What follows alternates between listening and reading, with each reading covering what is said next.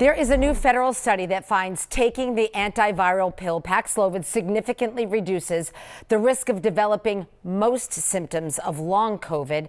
Here to answer your questions about that is Dr. Todd Ellerin, Chief of Infectious Diseases at South Shore Health. Good to see you, Doctor. Hey, Dr. T, great to see you. All right, question one. Let's talk about some of those details. Researchers review the records of more than 56,000 veterans with COVID. About 9,000 received Paxlovid within the first five days of infection. So, how did their illness compare to people who didn't take anything? Eddie, the ones who took uh, took Paxlovid did better. There was a 26% in the risk of the post-COVID symptoms. This was fatigue, brain fog, muscle pain, but not just those. Even cardiovascular events were decreased, like heart attacks. Problems with breathing were decreased, like pulmonary emboli, that's clots in the lungs or the legs less liver disease, less kidney disease. And get this, it didn't matter whether you were vaccinated in the past or unvaccinated, whether this was your first time with COVID or you got COVID more than once. It helped all of these groups. So it just showed that once again, taking Paxlovid if you're high risk is a good thing. You've been talking about the benefits of Paxlovid for a long time. So how do you decide which of your patients should get it, doctor?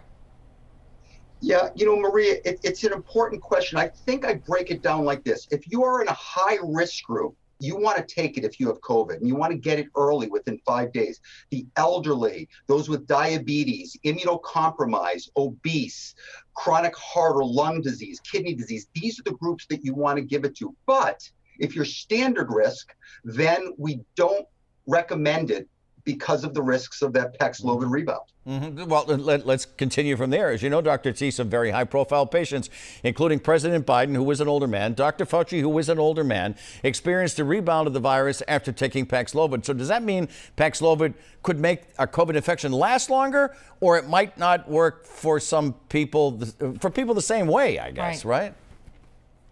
It's true, Paxlovid can cause that rebound, which can force you to have to isolate longer. You might be contagious.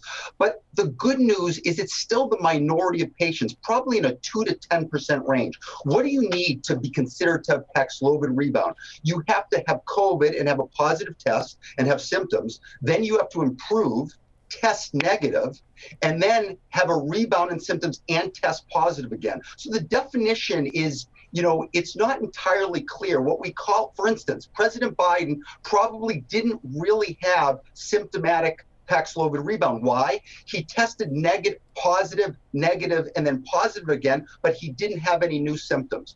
I think the important thing to remember is this. If you are a high risk person, it decreases hospitalization, it decreases death. I didn't mention this, but in the VA study, it decreased death by 50% if you took Paxlovid. 50. It decreased hospitalizations by a third. So if you're high risk, you want to take it even though there is a risk of rebound. Dr. Todd Ellerin, thank you so much. Be well. Take and care, to, guys. And, Take care. And to our viewers, if you have any COVID related questions that you would like our experts to answer, it's easy. Email them to ask at WCVB.com.